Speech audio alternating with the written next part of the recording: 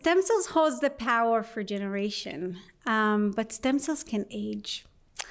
What if I can tell you that we can trick the stem cells, that we can tell them that they're actually not old, that they're young, that they can do exactly the same thing that they used to do when they are young, which is to regenerate our tissues? Um, so yeah, I'm Shiri. I'm the new assistant professor here in the Division of Regenerative Medicine. And what I'm going to show you today is that it's not only possible to trick the stem cells, but that it may represent the very near future where we can grow old with time, but stay healthy and hopefully happy and satisfied. So let me start by telling you that our body has a remarkable regenerative capacity. Although in humans, almost exclusively, if you lose a limb, you lose it forever, it doesn't mean that you stop growing. In fact, we are losing in a single day billions of cells, and this is completely normal. The way that I like to think about it is that we all know how we woke up this morning, but we must have changed several times. At the cellular level, you are not the same person that you woke up this morning. In fact, as we speak, our body is in a constant state of regeneration. Some organs replace themselves very fast, like the intestine or the skin. In fact, your intestine is completely new every few days. Um, uh, your skin, you're getting a whole new skin once, once a month or so. Um, some organs replace themselves very slow, like the muscles, or not even being replaced at all in the adults, like the heart. But key players in this regenerative process, as you've heard, are the stem cells that have the capacity to regenerate our tissues to make sure that there is a constant turnover, but also to regenerate the tissue when we need them to act. So when we have wounds, those stem cells need to act very, very fast. When we are losing blood, those stem cells need to act immediately to replenish the damaged tissue. Um, so I grew up with my grandma, and back then I didn't need to have any stem cell textbook to tell me that tissue regeneration is an arrow with the one negative direction. Um, we're constantly exposed to damage, to the sun, UV damage. Uh, we are exposed to pathogens. We're exposed to wounds. And all of that really requires our stem cells to work very, very hard to repair it. But with time, that takes longer and longer and longer. So when we're aging, that doesn't really happen very efficiently. But what if I tell you that this is not inevitable? What if I tell you that we can trick the stem cells or tell the stem cells or design the stem cells in a way that they can do exactly the same thing that they used to do when they were, they were young, just as long as possible? In my laboratory, we're asking exactly these questions. Um, what is the central cause that maintain stem cells' youth potential, but also how we can leverage that knowledge to develop new stem cell based technologies so we can tell those stem cells to do it exactly the same thing that they used to do when they are young. Um, so, how do you know that you're aging? Um, there are two main ways to know that. One is if you were born in a different century, then by definition, you're aging. Accept it. The second way that you know that you're aging is that we're using our eyes and we're watching. And if you will look around you, you will see people. And normally, the first thing that you will see is their appearance. And um, usually, someone's appearance, the skin and their hair, um, is the first clue that immediately reflects on someone's age. Um, there is a common belief that aging is associated with a decline of the skin appearance. Appearance, we are not having as firm skin as we used to have. Uh, we are losing the pigmentation in our hair, and in our skin um, our wounds are not healing as fast, right? So we sometimes see red spots on the body, or sometimes when older people, you see those patches on their skin because their skin is simply not healing as it used to do. One interesting fact about your skin is that it will age much faster than any organ in your body. And the reason for it is because we are exposed to the external, very, very harmful environment, DNA damage that happened through the sun, um, pathogens, and, and wounds, as I've been told you. This is our external surface that's supposed to protect us, but it is the surface that um, exposed to the most harmful conditions. But how fast do we age? So apparently, when we are babies, our skin completely renews itself once in every two weeks or so. I remember being terrified when I saw a scratch on my baby boy's skin, but it was completely gone within a few days. There was nothing left. Um, when we are teenagers and then we are actually being terrified by each and every scratch on our body, um, our skin regenerates itself once a month or so uh, closer to my age, or so I want to think about it at least, is that my skin can regenerate itself once in every two months or so. And as we grow older and older, that takes more and more time. We see aging all the time. If you're lucky, if all of us are lucky, we will age. Um, and we think it's completely normal. We sometimes even try to do it gracefully. We're trying to age gracefully.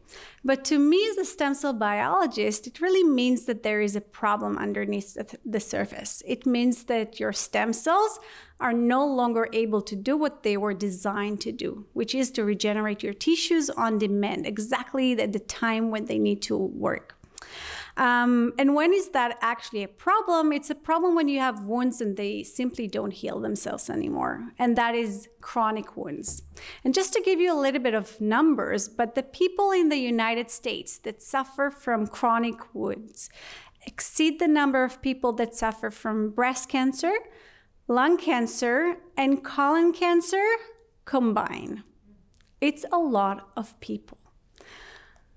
It's about 3% of the age population in the world will suffer from um, chronic wounds. And um, with the increase of age population the, on Earth, the prevalence of chronic wounds rose significantly in the past five years. And this is only expected to go up and up and up because we are making people live longer but not necessarily healthier. So we need to find a better solution. We need to find a better solution for these aged stem cells. They need to repair our wounds and they need to do it when we need them to, to do that job. So we don't have these magical powers. We can't simply do magic and repair wounds but we have magical stem cells. And in my view, they are not less magical from this video and what happened there. Those stem cells can kick in when they need to do, and they will do everything in their power to regenerate your tissues. So, where do we find those fantastic stem cells? Those magical stem cells that reside in your tissues, in most of your tissues, they are deep there, down there in the in the tissue, and they normally have the ability to make more of themselves, as Rob was saying. They can self-renew themselves but they can also create the tissue in which they reside. So it means to differentiate. And in the context of the skin, this is the skin that you touch on your body. This is the hair that you see on your on your head. Um, these are the differentiated cells that create our tissues. Um, but their fate decisions needs to be balanced because too little of stem cell activity will create insufficient tissue growth, like what happened in aging, um, but too much of it will create cancer. And so, what we really want to understand in stem cell biology, even though um, I'm working more on the environment and Rob mentioned on the internal thing, we both want to understand what influence balanced stem cell fate decision. How can we control that stem cells will create the right cell type at the right place, but also at the right time when tissue regeneration needs to happen? I am stem cell biologist in training, but I'm microscopist in my soul. And in my laboratory, we are watching. We are watching regeneration when it happens. When we are watching when stem cells proliferate, when they differentiate, when they migrate, when they are talking with their environment. Because for us, when we capture that moment when stem cells makes their tissue, then we can harness that knowledge to develop new technologies for tissue regeneration while avoiding the risk for malignant transformation. So to watch, we are using the microscope, and the skin is very unique because it's a home for multiple types of stem cells. It's a home for the epidermal stem cells that will create our skin. It's a home for the melanocyte stem cells that will create our color, the color of our skin, the color of our hair. It's also um, the home for beautiful other organ that called the hair follicle. There we have hair follicle stem cells. And they're also very unique because at the base of each of your hair follicles, we have stem cells here in red. Those stem cells will create a progeny that will fuel the growth of the hair. But why do I think that they're very magical?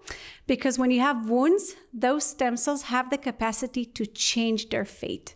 They were designed or evolve during development to create hair, but when you have wounds, those stem cells will cross the bridge, cross lineage boundaries, and will create skin. So stem cells will do everything in their power, and this is why I was saying I truly believe that they are magical because they can change their fate in order to regenerate our tissues. So when we think about these stem cells, they are at the base of our hair follicles and they normally act in cycles.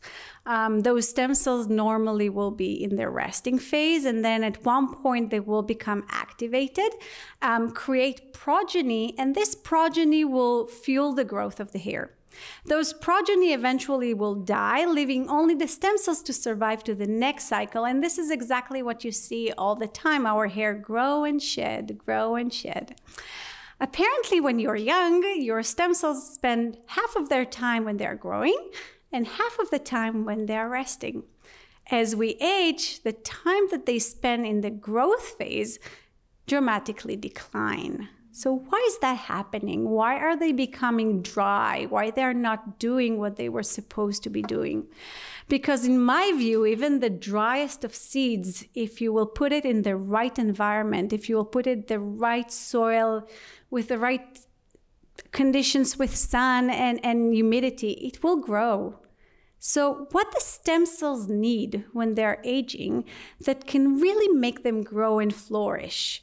Um, those environment, what we call the niches, can also age. So what happened to this environment when the stems where stem cells reside in? Uh, one interesting fact about your hair is that hair growth is sensitive to systemic changes. We talked about aging, how it is important for um, stem cells to act when they are uh, during aging, but we also know the hormonal cues. When we are pregnant, our hair is beautiful. The soon that we gave birth, it's all going away. Um, stress, we mentioned stress. Stress is also one of the things that we know that affect our hair growth. So systemic changes that run through our body really affect how our hair grow. And this is just a symbol of how tissue regeneration happens. And that really give me a hint what might run through our body that potentiate this system to give those cues for the stem cells. To understand that, we need to go back to the embryonic state because two systems were born, two very, very different systems were born, but they became bond for life the skin and the vascular system. When one senses the heat, the other one will blush. When one senses the breach of its walls, the other one will bring in lots of immune cells and clear the waste in order to restore tissue integrity. And so we have no system that run through our body and potentiate it maybe to be important for stem cells as well. Normally, when I talk with people about the vascular system, and apparently I do have the tendency to do that, um, people normally think about the blood vessels, and it's true. We do have blood vessels in our um, in our body. These blood circulatory system are important to transfer blood cells um, and, and immune cells into our tissues. But we have one more circulatory system, and this is the lymphatic vascular system that Kat mentioned. Um, so this lymphatic vascular system is important to drain back all the fluids and macromolecules from our tissues back into the circulatory system and to the lymph node that exist in our body. So now I can really ask the question can the vascular system coordinate the regenerative process and maintain the youth potential of those stem cells that we were talking about? But By asking that question, I understood that I need a new perspective. Because thinking about the vascular system, it has a three dimensional view. And if you look at this video, for example, you may be wrong that the balls are actually going on one dimension. You're completely missing the fact that they're going up and down. And it's very similar because biology was very much restricted to look at biological phenomena with very thin sections of tissues. So I need a different perspective, but I have a problem because our skin is not transparent. I can't simply take it to the microscope and say, okay, how the vascular system look like? It's almost as if you're taking your camera and, and taking pictures under the water. You see everything very blurry. You can't appreciate the structure and the colors. So what we did, we cleared the opaqueness of the skin, making it completely transparent. So now I can take my camera in the microscope um, I, when I took all the water droplet outside of the tissue, and I can visualize the beautiful architecture of the vascular system around the stem cells without compromising tissue integrity. So this is exactly what we were doing. And for the first time, we were able to see the beautiful structure of the blood vessels and the lymphatic system in the skin. And we could use to see it also in three dimension. So what we were able to see for the first time in green, you can see the stem cells. And in red, you can see the lymphatic capillaries. And what we were able to see is that the stem cells are tightly associated with the lymphatic capillaries. We could model that interaction, and you can really appreciate how close they are together. They're really nesting on top of each other. The stem cells love to be together with their lymphatic vascular system uh, when they're at the resting phase. So now we're going to take a virtual tour as if we have a special glasses that allows us to dive into our skin.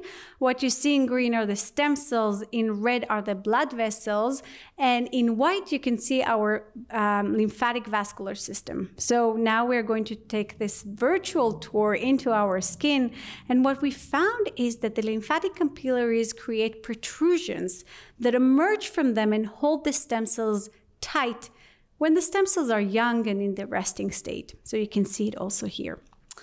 Essentially, what we found is that the communication between stem cells and lymphatics is controlled by the stem cells themselves. So the stem cells kind of like have the brain to control how their environment will look like.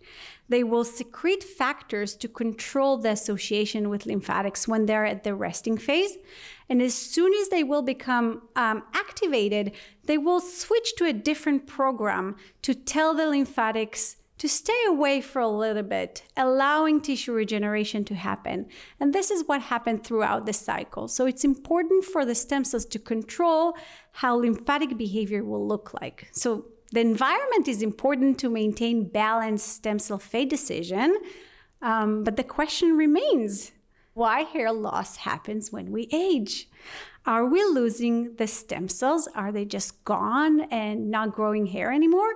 Or are we losing the soil, the, the, the environment, the niche that support the stem cells themselves? What are we losing uh, when stem cells age? And this is a very complex uh, question to ask because our tissues are composed of so many, many stem cells, so many cell types, so many um, cues and signals. Imagine like we have a pile of Lego that composed of so many colors and shapes and types. So how do I find now my stem cells? And I ask, what is the difference between young stem cells and old stem cells?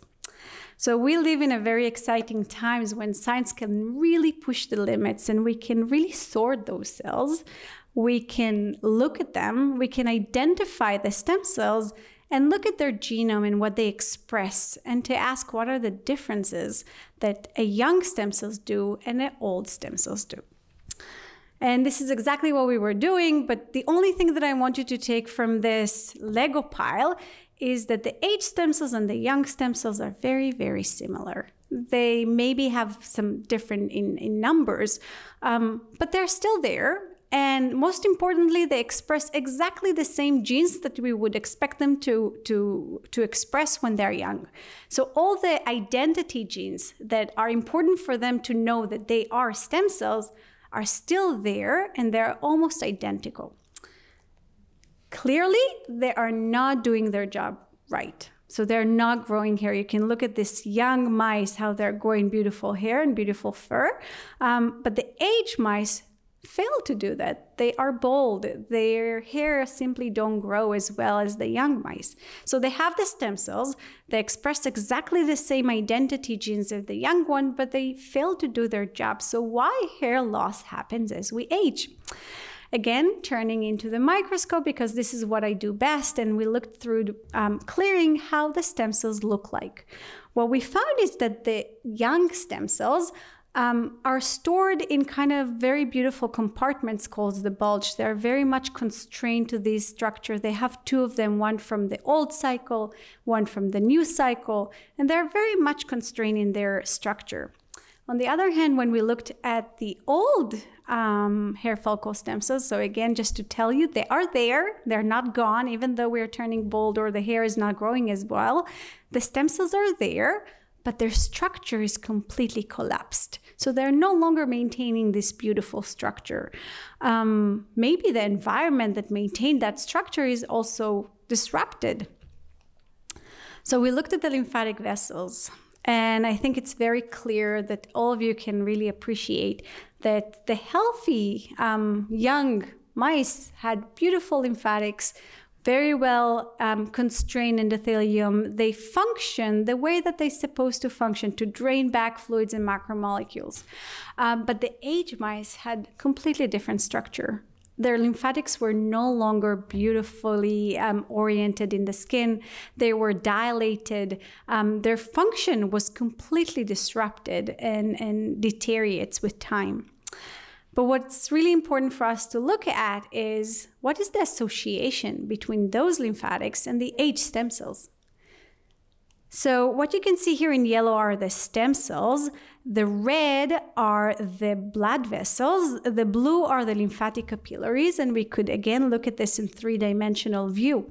What we found is that the stem cells, again, they are there, they're not gone, they're highly associated with blood vessels that are getting nutrients, but they're no longer associated with the lymphatic capillaries. The beautiful structure that I showed you that is important for balanced stem cell fate decision, too much or too little, is no longer there. One important thing that I want you to know about tissue regeneration is that tissue regeneration is a very, very complex event.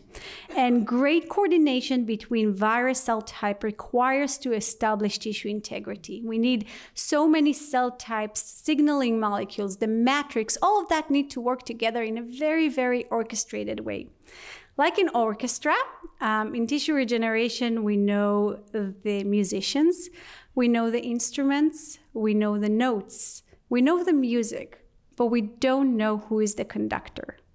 Who is the conductor that really makes sure that all the stem cells will work together with their environment in a synchronized way to make sure that the music that we hear, tissue regeneration, will happen the way that we expect it to happen? In other words, how do stem cells regenerate the right cell type at the right place and at the right time? Because this is what happened when we are young but it declines when we are aging.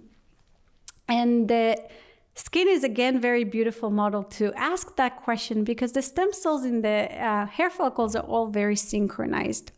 Either they are in the resting phase and they are all in the resting phase, or that they're all growing together at the same time. So you can appreciate that all the follicles are growing at the same time. Um, so it's a beautiful model to ask who is the conductor in this process. What we found is that when lymphatics are no longer functional, when they're no longer able to make the association with their stem cells, stem cells no longer synchronized. You can see some small stem cells here in green and some very big follicle together with them. And when that happened, tissue regeneration doesn't happen anymore because synchronized behavior that stem cells will work with their environment in a synchronized way is important for repair and for the uh, when we have wounds so it will restore itself. Those big follicles sometimes even develop hyperplasia. So balanced stem cell fate decision didn't happen anymore. What happened to these mice that had dysfunctional lymphatics? What you're looking right now are basically two identical twins. They were born to the same mom at the same time and at the same place. One of these mice had genetic mutation that caused its lymphatics not to function as good, um, not to form those connections that I showed you with the stem cells. What we found is that these mice, even though they were young, they started to lose hair prematurely. They basically express signals or their phenotype was kind of premature aging. So we can push aging fast forward, but can we reverse it? This is what we all want to know, right? So we wanted to know that as well. And so we did an experiment. Um, and together with my colleague Yejing Ge, what we did is to isolate stem cells from the young mice and with from the old mice. And we also isolate the environment where the stem cells reside in. And we isolated from the young and the adult, and we mixed and matched to see what's happened. So we put the young stem cells in an old environment, and we took the old stem cells and we put them in a young environment. What we found is that the young stem cells, when you put them in an old environment, do not regenerate anymore. This is not what I'm supposed to do. This is not the environment that I need to grow. On the other hand, the old stem cells, when we put them in young environment, were tricked they were tricked to think that they're actually young and they were able to generate hair when normally they did not regenerate hair. They were tricked to think that they're in a young place and they need to regenerate the tissue right now. I started to tell you that we have so many tissues in our body, and I showed you now one environment that controls stem cell fate decisions um, in the skin. Um, but different tissues work very differently. Some tissues regenerate very slow, like the hair follicles in cycles, and some organs very fast, like the intestine. Every few days, the stem cells there are constantly active. So, coming back to the question, can we have one central cause for stem cells aging? Um, can it be that one niche, one environment control two different organs that have completely different usage in a similar way? Or in a different words, can the lymphatic system renew the stem cells in the skin and in the intestine in a similar way? The short answer is yes. What we found is that even though we have no system that works very, very fast, the intestinal stem cells here in green are tightly associated with the lymphatic capillaries. And what we found is that this association, also in the intestine, is important to maintain this balanced stem cell fate decision. And their usage and how much we're using from these stem cells is controlled by the lymphatic microenvironment. So I showed you now a completely new system for stem cell biology right now in regenerating the hair, in regenerating the uh, intestine, and in other words have shown that although not very stem cell centric, but lymphatics are important for brain function and also for heart regeneration and repair. So the question that we are now interested to ask is if it's possible to slow aging and can we reverse it? Because now we have a system in hand that runs through our body and can really control all of the all of the stem cells and all of our tissues in a similar way maybe and so these are exactly the questions that we are asking in the lab. And can we learn something from how the stem cells interact with their lymphatic microenvironment to make that arrow looks completely different? And just to show you that we are not completely far away from this day, because another work from a very good colleague of mine just showed that by preventing age associated vascular loss in our body, can extend the mammalian lifespan. And not only extend the life of these animals that had better vascular system they were much healthier. So maybe we can actually just improve the vascular system that runs through our body live longer and live healthier life. And that will come also with happiness hopefully and we're also asking how we can leverage that knowledge. And we're working to develop new technologies to really restore and to trick those aged stem cells to think that they are young again. So when stem cells lose its function, we age or we develop diseases. And so the ability of stem cells to maintain and repair organs diminish with age. But paradoxically, at the same time, the risk of cancer increases. And that all comes together to the uh, vascular theory of aging because maybe the fountain of youth is actually within us. It runs through our body, and as we grow old, these pipes are just drying out. Maybe we can restore them, or maybe just prevent them from drying out and restore um, um, our ability to regenerate our tissues um, for as long as possible. We may not live forever, but I'm one of those that believes that science can really push the boundaries and that we are not that far away from the day that we can actually achieve that. Um, and so in my laboratory, we really study how the epithelial stem cells communicate with their environment, with their supporting um, niches to understand dynamic tissue remodeling and how we can leverage that knowledge and develop new technologies. Uh, with that, I would just like to thank my mentors, my colleagues, uh, my funding resources. And as Rob just said, I will be more than happy just to talk more on not only how to improve the, the texture of your skin, but really to regenerate our tissues. Um, so thank you so much for being here today and virtually and, and in person. Thank you so much.